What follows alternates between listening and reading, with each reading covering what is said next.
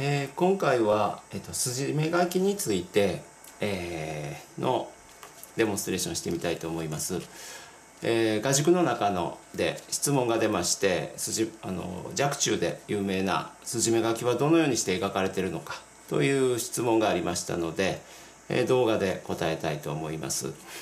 えー、スズメ書きというのはあのテクこの技術的なテクニックというよりも、まあ、紙の問題でその紙を使えば誰でもできるというものなんですが、まあ、一度書いてみますね。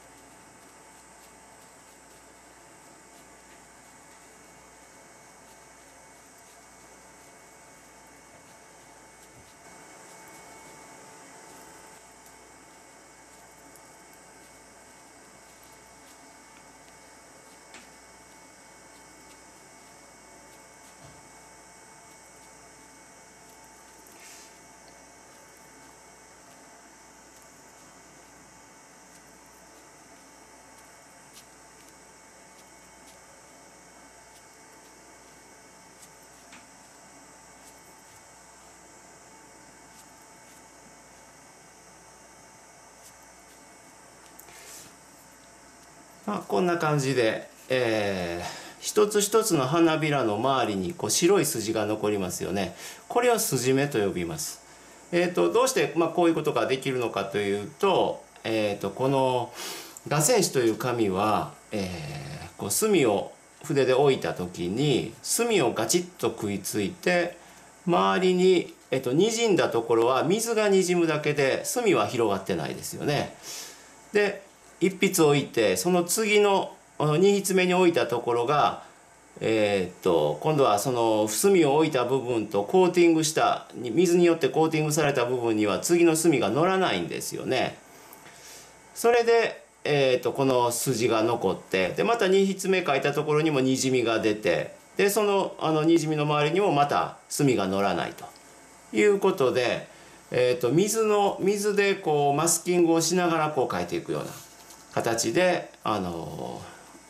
あの書いていくと、まあ、こういう菊のようなものがあの一枚一枚こうあえて白を残していかなくても後から白を入れなくてもこういう形で残っていくというまあこうえーと、画線紙に慣れてない方には非常に不思議な技法だと思うんですけれども、えーとこれが筋目書きの理屈です。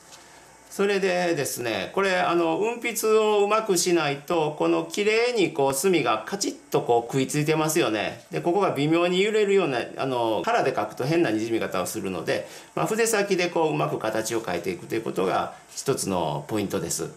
それで水の含み方によって、えっと、このあの水がどれだけこう広がっていくかっていうののこの筋の太さが変わりますよね。これは含んだ水の量とあと次の一筆を置くスピードも関係あります。どんどんにじんでいってからあの置いたんではかなり広くなってしまうのである程度のスピード感を持ちながら書いていくと。あとまあこれ、えーと、墨が初めは濃くてだんだん薄くなっていきますよね。これは一筆で書いてるのでうまくこう筆に入ってる濃いところから始まってどんどん墨がなくなっていくと。でただまああのなくなっていくと筆がこううまく広がりにくかったりとかあのかすれたりするのを、まあ、避けるような形でゆっくりちょっと運筆するような形にならないとうまくこの花びらが描けないので、まあ、ちょっと運筆のあの筆花びらを描く運筆にちょっと工夫がいるかもしれません。えっ、ー、とこれはあのえっとまあ、1枚ずつの花びらもそうですけれどもこれちょっと初めの練習の落書きをこうしたものですけれどもえー、っとこの一つずつのこの花自体も、えー、っと後から描くと後ろに行くんですね。前に描いた分がマスキングになって上から描いたあの墨が入らないので。えーと、今ここで見るとこれ一筆目初めにこれ書いてここですよね。でここへ行ってここへこう行ってこっちへ行くと。普通あの油絵だと絵の具で描いて上に重なると下のものは消えてしまうので後から描いたものが上に来ると。いうことなんですけれども、えーと、この墨の場合は初めに書いた文が一番上に来て後に書いた文が奥後ろに回っていくと。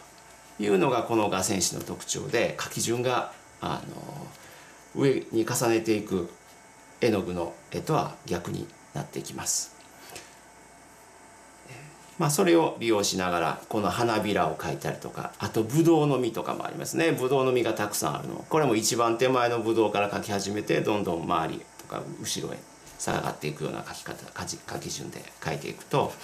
うまくいくんですけれども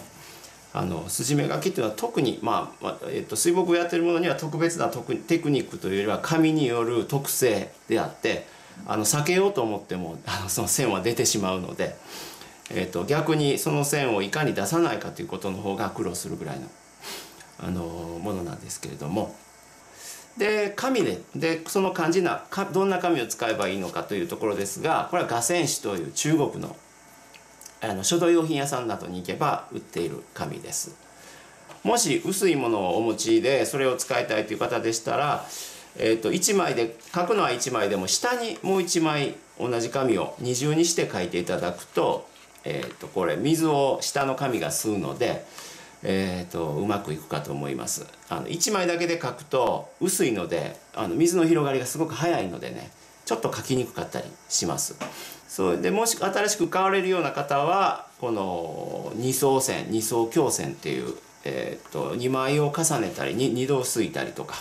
して作った紙がありますのでまあ、画線紙の二層線二層強線というちょっと厚みのあるものを買って試していただくとあのどなたでも綺麗に出るかと思います。まあ、これが若冲の筋目書きというものの実態です。では今回はこのぐらいにしたいと思います。